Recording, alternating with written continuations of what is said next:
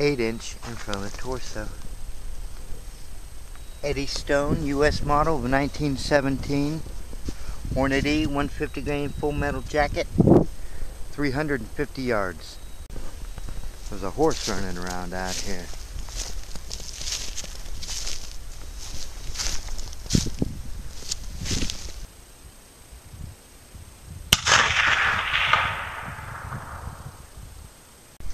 Still figuring out the point of impacts with this load, but it hit right there.